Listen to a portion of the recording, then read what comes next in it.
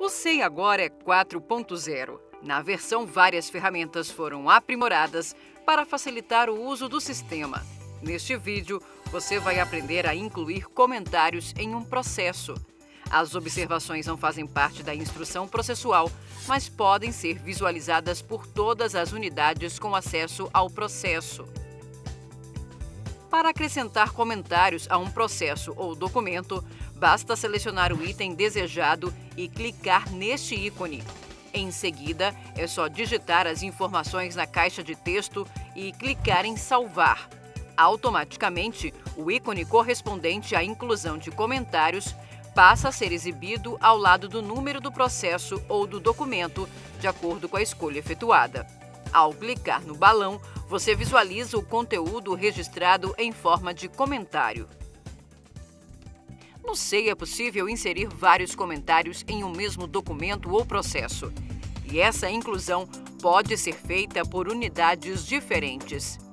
Aqui na tela de comentários, para registrar uma nova informação, basta clicar neste botão Novo e realizar o procedimento. E atenção! Um comentário registrado em um documento interno não assinado só pode ser visualizado pela unidade que o inseriu. Somente após a assinatura, a informação se torna disponível para ser consultada por outras unidades.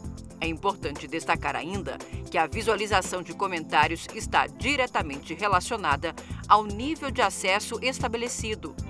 Para visualizar todos os comentários inseridos no processo e nos documentos, é só clicar nesta opção. Já para alterar um comentário, basta clicar neste ícone, modificar o texto escrito e clicar em Salvar. Lembrando que um comentário só pode ser alterado ou excluído pela unidade que o inseriu.